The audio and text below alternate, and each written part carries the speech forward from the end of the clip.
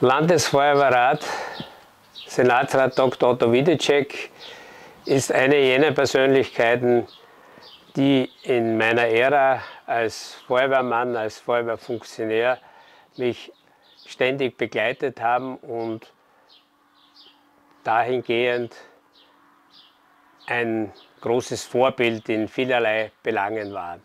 Einerseits durfte ich in, den jungen Jahren als Ausbilder an der Feuerwehr- Zivilschutzschule im Bereich Strahlenschutz mitwirken und da konnte ich die Fähigkeiten des Vermittelns dieser doch schwierigen Materie des Dr. Otto Wiedecek miterleben und wurde damit begeistert.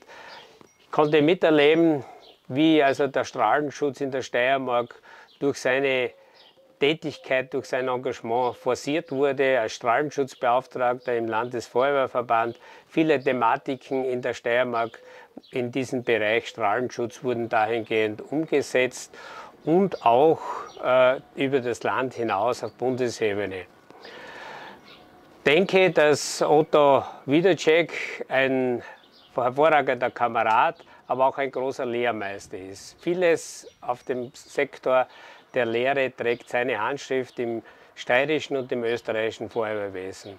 Und umso erfreulich ist es für mich, dass nunmehr eine der höchsten Auszeichnungen, die Pro Merito Medaille in Gold am Bande für Dr. Otto Wiedecek äh, zur Verfügung steht und Ihnen überreicht wird. Dazu gratuliere ich auf das Herzliche und wünsche alles Gute für die Zukunft.